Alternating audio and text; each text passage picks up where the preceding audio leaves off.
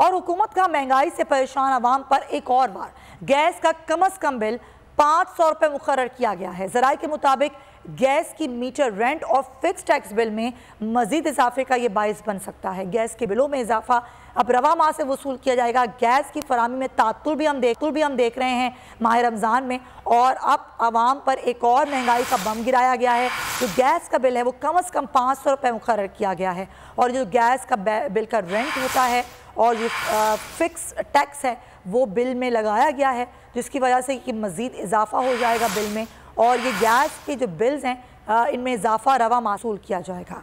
हवाए नफ्स की है हुक्मरानी, लुटेरा कर रहा है पास पानी बोल न्यूज़ के मार्केटिंग हेड आकाश राम ताहा लापता। तफ्तीशी इदारे जवाब देने से कासिर। अहले खाना परेशान बेटे की जुदाई में माँ गम से निढाल। जो बच्चो हिंदू पर आए थे जो पाकिस्तानी।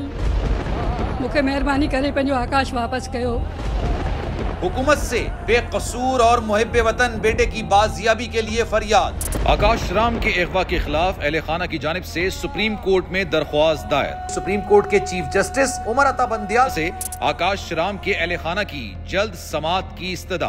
मुश्किल की इस घड़ी में आलमी मीडिया ने भी उठाई आवाज़। सी एन एन आज तक इंडिया टुडे टाइम्स नाउ समेत आलमी मीडिया ने आकाश राम के अगवा के खिलाफ दिया बोल का साथ। उफ क्या जुल्म है।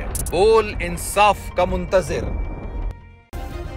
सब्सक्राइब करें और बेल दबाएँ ताकि कोई खबर रह न जाए।